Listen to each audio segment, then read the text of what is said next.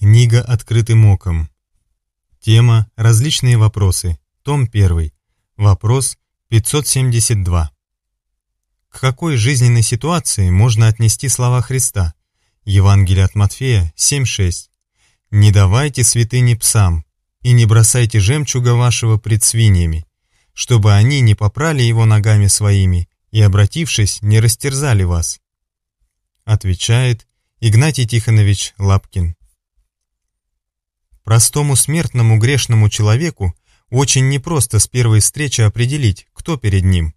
Самые великие святые жестоко ошибались в тех, кому доверяли безраздельно. Чужая душа потемки.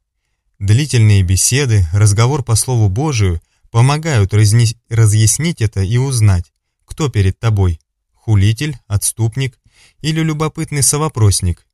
Определить, кто перед вами – овца или волк, поможет только Бог. Толкователи Библии псами называют язычников, враждебных Христу, а свиньями – христиан, живущих в скверне.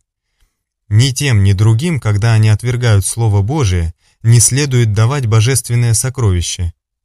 Евангелие от Матфея 18:17. Если же не послушает их, скажи церкви, а если и церкви не послушает, то да будет он тебе как язычник и мытарь.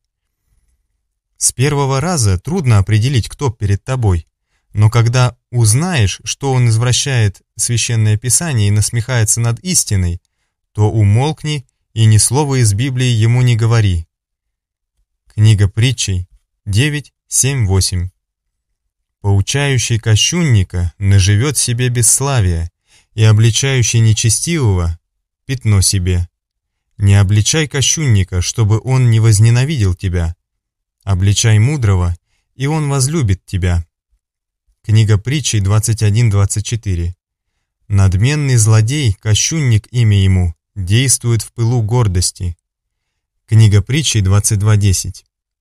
Прогони кощунника, и удалится раздор, и прекратятся ссоры и брань. Притча 24.9. Помысл глупости – грех, и кощунник мерзость для людей.